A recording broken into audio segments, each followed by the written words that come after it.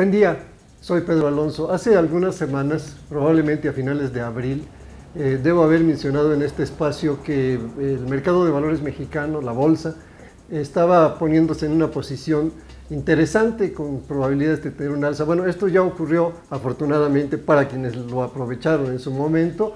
Eh, digamos de la mitad de marzo a estas fechas del mes de mayo, casi finales de mayo, pues el mercado ha subido entre 12 y 13%, eh, lo cual pues para ese periodo me parece que es un, uh, un, dato interesante por lo menos, sobre todo si lo comparamos con los tradicionales eh, tipos de inversión en valores de deuda, en renta fija como se le llama, que realmente no es tan fija, pero bueno, así se le ha venido diciendo, y eh, que prácticamente están en pues, niveles mínimos, ¿no? No, no, no quiero decir cero, pero casi.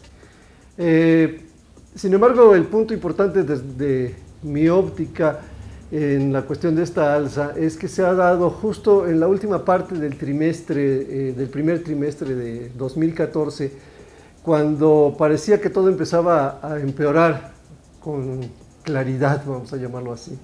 Eh, ustedes saben seguramente que el Producto Interno, tema que discutimos en, en este espacio varias veces en las semanas recientes, creció en el primer trimestre eh, únicamente 1.8%, lo cual pues, eh, hizo que el gobierno bajara su pronóstico de 3.9 a 2.7 para todo el año, eh, que es pues, una caída muy importante a nivel de pronóstico. Sin embargo, el, mercado ha subido y eso ocurre normalmente, ¿no? Sabemos, solemos decir, o la leyenda dice que las bolsas se anticipan a los hechos y puede que esto esté ocurriendo. Para fines prácticos sí hay evidencia empírica de este tipo de cuestiones. Eh, probablemente eh, sí está anticipando eh, un mejor desempeño de la economía mexicana en los siguientes meses. Eso no quiere decir que vamos a estar en la gloria, simplemente que el deterioro está siendo menor y eso ya de sí no es una, una, cosa menor. otro elemento que hay que tomar en cuenta para el futuro, diría yo, como una situación de anticipación, es que el último mes del trimestre, marzo, eh, creció la economía 3% de acuerdo al indicador global de actividad económica. Eh, eso hizo que el trimestre fuera 1.8, que aunque es muy malo, pero hubiera sido peor.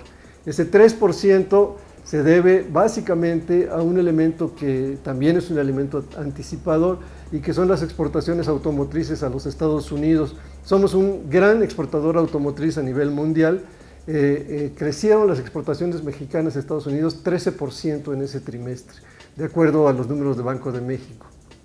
Entonces yo diría que esa conjunción entre la bolsa, lo que está diciendo el IGAE, que es un indicador mensual, más las exportaciones automotrices, pueden ser la base de algo un poco mejor para los siguientes meses. Ojalá y si sea. Suerte.